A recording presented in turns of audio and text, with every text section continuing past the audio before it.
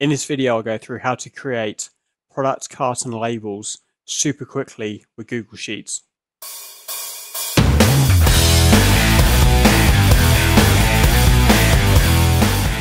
If you run a product-based company, an e-com company like I do with Oh Crap, you're probably creating carton labels all the time to have stuff going from, you know, manufacturing to the warehouse, maybe out to customers. also really useful for managing stock and knowing what's in stock and what's what's been sent and having simple barcodes on there, of information about the product, and it just makes inventory management an awful lot easier. So at the start of things, we only had a couple of products. I used to use a Word document. that kind of worked for a bit. Then we increased the number of products, and so I'd moved on to Adobe Illustrator. That was fine, but no one else in the team could really edit it because I'm the, you know, graphics and marketing, so I get to do that stuff. So, as we're now increasing the number of products we've got again, and for every product run, production run that we do, we actually put um, batch IDs and product IDs on each one so we can identify them in the warehouse just so we know it's a good way that we can make sure the oldest stock's going out first and all that, that sort of stuff. So we're actually generating now a lot of carton labels. So I need a way, or I needed a way that anyone in the team can create labels, add new labels, and as we go through the production process every month or so, just go and do that process for me without me having to jump into Illustrator and manually export things out one by one. I need a way that I could just do it in a couple of seconds and get going. So I figured out a way with Google Sheets, so that's what I'm going to show you today. So diving in here, I pretty much made a, just a very simple sheet with a couple of setup, um, a setup page, and then actual label data page that, and this is now our universal where we keep all of our carton info.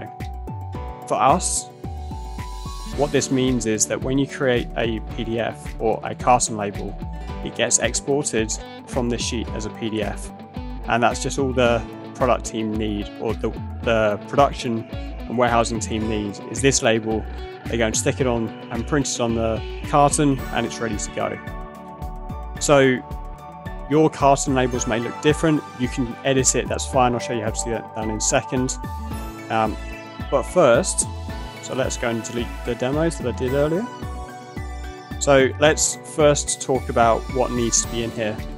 First off, you're going to want to copy this, this spreadsheet here, the carton label data spreadsheet. Now you can rename it whatever you like, but you need to copy it to your own Google Drive. So that's the first thing.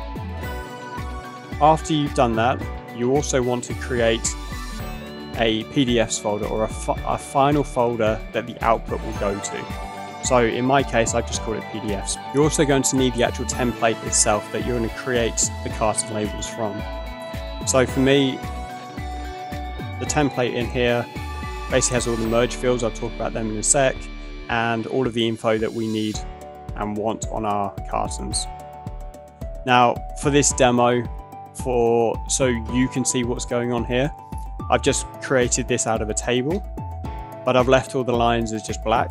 You probably want to, in the live version, turn them to white so there's no um, sort of black lines around all, all your sections. But for purposes of the demo and so you can easily work out how it all works.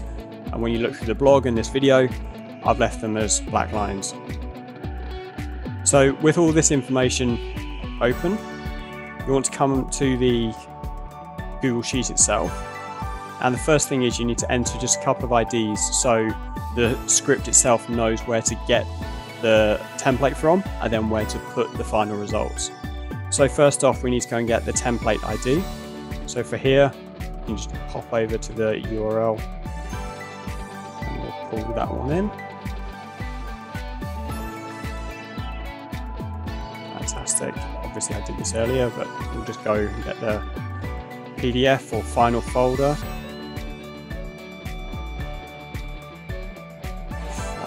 Fantastic. Okay, so a couple of other settings up on this setup page. You can define how, how wide your barcode is, and I'll show you an example of how, why that's, or how that could be helpful in just a minute. But you can define how big it is across the page essentially. And then the page size itself, you might have like this, there's a lot of white space at the bottom of this template here. Now in Google Docs, you can't define custom page sizes. You can't push them in and you know pull the white space out. So what happens with these this page size is effectively after after it's merged and created the, the temporary template that actually the merge goes through, these page sizes basically chop in. So when the final PDF comes, there's not a whole load of white space everywhere around the outside. We also use, and this was the big push for me to actually change, figure out a system to do this a lot quicker. We actually use a batch ID. So I've just put this on the setup page and this is referenced on the label data in a sec. Now you can you can change this. Um, you know, if you don't use this, don't don't worry. Uh, but all of these other settings help in the final creation of the template itself. Now, things get merged across. Essentially here you'll see that each of the titles up in this first row, so item SKU, corresponds to a merge tag here between the curly double double curly braces. So you can create your own template if you want to modify mine and do other stuff with it, that's fine. Just make sure that whatever your titles are up here and the information you want going on there it's the same, exactly the same case, case sensitive, exactly the same on the template between the curly braces. Now, this these first two columns is you have to leave these names the same unless you want to dive into the code and change it, but just for ease of use, there's the first A column, and essentially if you put a Y next to that row, that row is going to get created as a PDF. Now, the reason you don't just create them every, every single one every time, well, you could, um, but it might take a fair bit of time. And also for us, you know, we only do, say, a production run that's got five items on, but we've got 20 items. I don't really want to just do labels for the fun of it. So you can you can put a Y next to any row that you need a label created for. The next row across is the final PDF name. That for me is just uh, basically the item SKU name followed by a hyphen and then the pack ID, the batch ID, and then carton label in the end. It doesn't, you know, it's just a way for you to identify them when they get exported.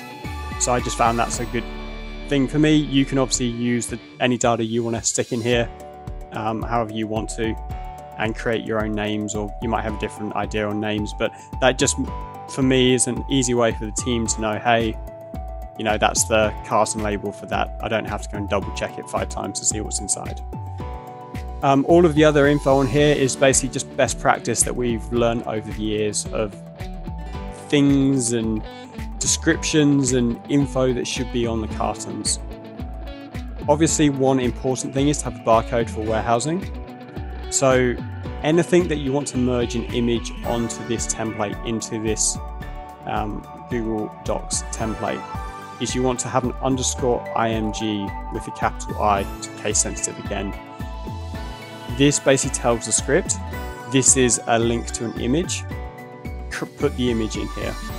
So if you take out the img, it won't know it's an image and might do something else with it. And it will just basically merge in the literal text but if it sees underscore img, it's going to put an image in there.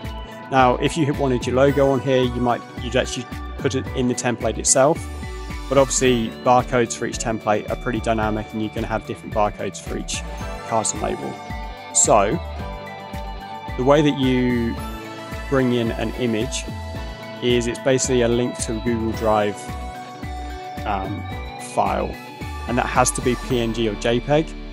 Obviously, you you probably want it see-through because you're printing the carton labels quite potentially on boxes, so you want them see-through. Uh, so you want to go for PNG for the transparency. Now you just need to link the, the file. You can have any extra stuff on the end. Really the script is going to take the full link and go and look for the ID. That's what it's really after, but just for ease of use, stick that, um, you have to stick the whole link in and then the script will do the rest, figuring out what the thing is. And as I said, this row has underscore img on the end to know it's a image that needs to, to get merged in. And quite simply, when you have all the information in here, after you've put Y next to everything you want, you know, created, uh, just go to carton labels and go create labels, and the script is going to run. Now, the script does take about 20 seconds to label, maybe. That's so if you're doing 20 labels, it's going to, you know, it's going to take a couple of minutes. Um, but it will chug through there. Computers will do its thing, and hopefully, what you get out the other end when you go to your final folder is to, in this case, PDFs. Okay. So perfect. This one turned out perfectly. Now, where some of these measurements might come in handy is that you can see this second row that we did here. The the barcode itself is that's it's basically pushing everything down a long way. So this is where the making the barcode smaller or changing your template could be another solution, but making your barcode smaller in this case is going to really help. So what we can do here just to show you is let's bring this down to 350.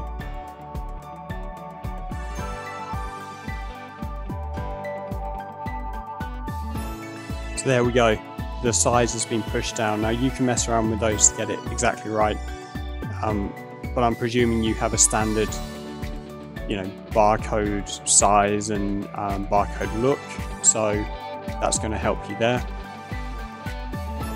but just gives you a few options. Now if we stick this back to 600 um, and we actually made this size say 900, so making the actual PDF bigger and ran this again, hopefully the page size essentially gets bigger so it's all on one page. So let's see. Yeah, so now you've got lots of white space, but you can play around with the measurements in your template to, to make it work for you. Um, yeah, I found with the template I had originally in the barcodes that we certainly use that these settings work perfectly for us. Now, a couple of things with images is you need at least view access to the image. So it could be even in someone else's drive. I did try that earlier where I had view access in an, into another drive and that worked just fine. Um, however, for whatever reason, um, Google Docs, the script, the whole process doesn't like um, images above 3000 pixels wide. So just something to bear in mind. I, I don't know if you, you want something that wide, but um, the script certainly in my testing hasn't hasn't played nice with 3000 pixels wide on either width or height. And one last thing with the images, you can only put PNG and JPEG in there as I said earlier. I would love to put vector because I love having things perfect and like crystal clear and all the rest. But one thing I did come up with was essentially exporting our barcodes at three times the size of our um, barcode width here. And then just basically letting the PDF shrink it down, but it's still got the extra pixel, pixels inside. So um, that was my solution to have certainly the barcode looking crystal clear that obviously you want in a warehouse uh, because they're scanning that stuff super quick and uh, we need it scanned super easily so we're not having to scan it five times or put some light on it and all the other stuff. So um, yeah, my solution to having sort of high res images was basically export them at three times the size I was going to actually import them into the document with. And that's it. Hopefully you find this script helpful and a lot make it a lot easier to sort of maintain and create new carton labels on the fly super easily. So next production run, certainly for me, it was taking sort of 25, 30 minutes to go through all our files and edit it. Hopefully for you now, it's also going to take you 20 seconds, 30 seconds like it takes me now. Um, any comments with the script? Anything, any ideas you've got to make it better or different ways of doing things, let me know. Uh, always willing to jump in there and update it and help. So jump over to the blog, get the link below to the blog, jump over there, give me an idea of anything I could do to the script. Or if you've got any other business challenges, ecom challenges that this kind of thing might solve, love to hear about it because I enjoy just enjoy solving business problems because it I just love it. So jump over to the blog, let me know any ideas, and outside of that, have an absolutely amazing day.